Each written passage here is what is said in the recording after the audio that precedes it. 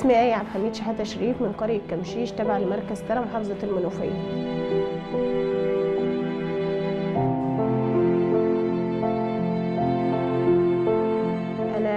الأول متجوزة من 2014 هي قاعدة بالإيجار وعيشتنا على القد وجوزي من النوع اللي هو الغلبان جدا.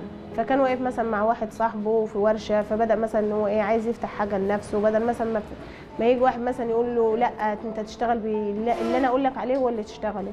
فبدأت مثلا أعرف أسامي البضاعة الأول الأسعار بتاعتها ماشية إزاي حفظت ديت مع ديت. خدت بقى من والدي وفتحت مثلا جبت شوية بضاعة وبدأت بقى في المحل. فبدأت بقى أشوفه مثلا هو بيحل إزاي ويربط إزاي. بدل مثلا ما يجي زبون ويقول له ما اناش فاضي دلوقتي فلا أنا هحل لك وأنت تقفل. أو أنا هحل لك وتشوف المشكلة إزاي وأقفل مثلا مكانك وأنت ظبط ورايا برضه. فبدأنا نساعد بعض ونحط إيدنا على إيد بعض عشان خاطر عيالنا إن أنا معايا مريم وسندس تسع سنين وست سنين.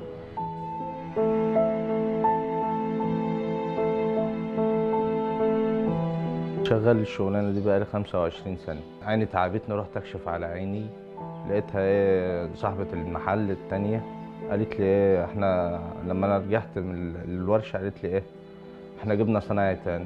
كنت داخل معاها جمعية بسيطة كده ادتها لي وخدت من حماية قرشين اداني قرشين جبنا شوية بضاعة وقعدنا مع بعض ولقيتها بإيدي.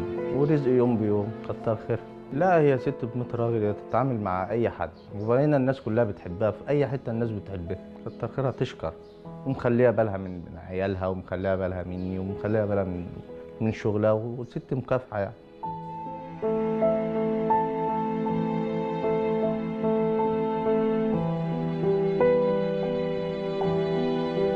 أنا شفته بيحل ويربط إزاي فأنا حبيت أتعلم.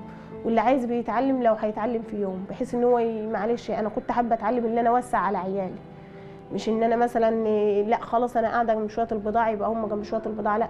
أنا حبيت إن أنا أوسع من نفسي. واللي عايز يتعلم لو هيتعلم الحاجة لو بيتعلمها في شهر لأ ممكن يتعلمها في أسبوع في اتنين. المهم التركيز بتاع البني آدم اللي قدامه. أيوه أنا مثلا بقوم الساعة 7 الصبح في عندي عيلة في الحضانة بتروح اللي عندي في المدرسة بتروح. بقوم مثلا لو عندي غسيل عندي حاجة بقضيها. لما بروح برضك بقضي اللي ورايا لو في حاجة. لو أنا مثلا ما عنديش شغل العصرية أو كده بروح أعمل أكلي. يعني الحمد لله ربنا اللي بيوفق وربنا اللي عليه التدبير. إحنا علينا مثلا بنقول هنعمل كذا وربنا هو بيمشيها من عنده فأنا الحمد لله من يوم لحد النهارده وربنا ممشيها اللي ربنا عايزه هو اللي بيكون. أنا أتمنى إن أنا يبقى لي أوضة للبنات.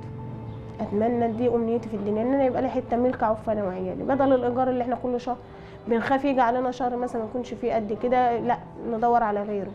أنا بنتي لو محتاجة الجنيه أقول لها طيب لما ندفع الإيجار خد اللي أنت عاوزاه. وكده كده بجيب لهم اللي هم نفسهم فيه. بس أهم حاجة عند الإيجار لأن أنت معاك شقة ومحل.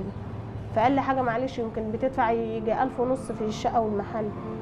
الدنيا غالية دلوقتي وشوف بقى مصاريف ودروس وده وده. فكل واحد بيبقى نفسه في حاجة لعياله.